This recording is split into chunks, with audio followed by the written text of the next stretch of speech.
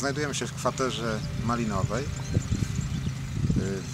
kwaterze, dla kwatery tej rok 2015 jest wyjątkowy, można powiedzieć, z tego względu, że rozpoczynamy nowy projekt wdrożeniowy pod nazwą Malinowe Faktory, który ma na celu porównanie około 15 odmian powtarzających, które będziemy starali się poprowadzić na y, dwa zbiory, czyli na zbiór jesienny oraz na zbiór letni kolejnym roku.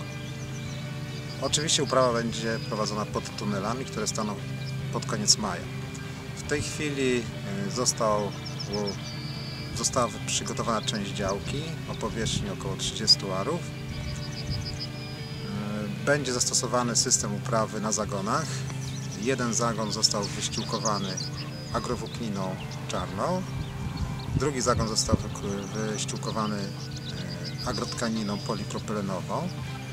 W projekcie tym sprawdzamy możliwości uprawy malin na zagonach, y, z, z, głównie z jednego powodu. Mianowicie w poprzednim sezonie, kiedy na Lubelszczyźnie mieliśmy do czynienia z bardzo dużą ilością opadów, miesięczne sumy przekraczały 100, 120, a nawet 200 mm y, opadów w ciągu całego miesiąca.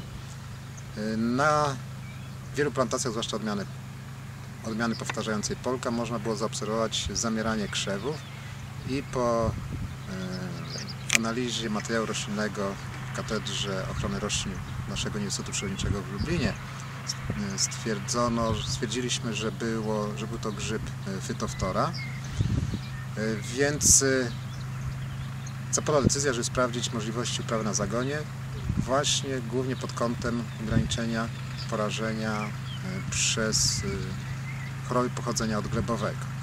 Możemy zobaczyć w tej chwili na zagonie, jak szybko zagon wysycha.